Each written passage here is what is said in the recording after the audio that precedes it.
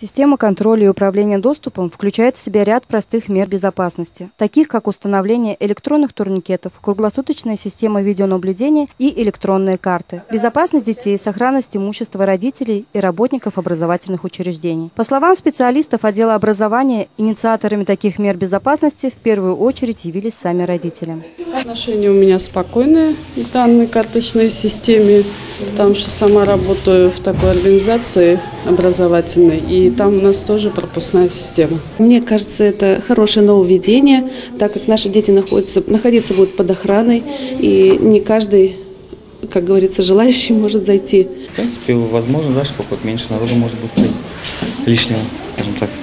Вы и не против, и не за. Как бы да.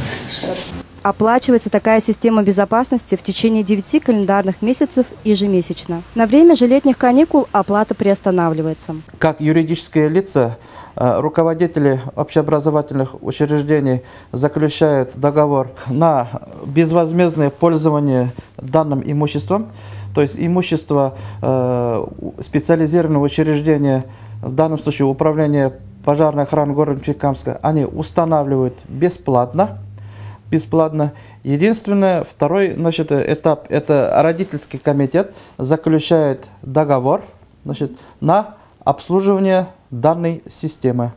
А, данная система значит, э, управления контроля доступом является очень унифицированным, универсальным способом обеспечения безопасности. Специалисты отдела образования утверждают, что такие меры безопасности, хоть и существуют относительно недавно, уже доказали свою эффективность. Но пока еще система контроля доступа вызывает у родителей много неясностей и вопросов. Например, сможет ли она стать реальным препятствием для человека, который во что бы то ни стало хочет попасть на территорию учреждения? Или как исправить неудобства в виде одной электронной карты на всех членов семьи? Если любой человек, который поставил, поставил себе цель проникнуть на территорию данного объекта, значит, перед ним, возможно, преград таких э, не будет, но первое твердое это факт, что он всегда окажется уже под видеоконтролем. То есть этот человек, этот объект, он будет зафиксирован. Кому-то эта система не совсем как бы удобна, э, учитывая, что ограниченное количество этих ключей. То есть э, порядок э, выдачи, то есть э, он есть, имеется такая возможность приобретения дополнительных электромагнитных ключей.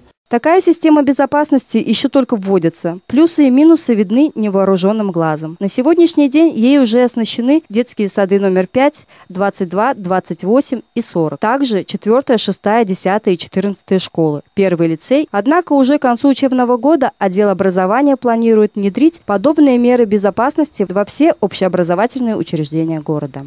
Елена Иркеева, Ильшат Исламов. Время новостей.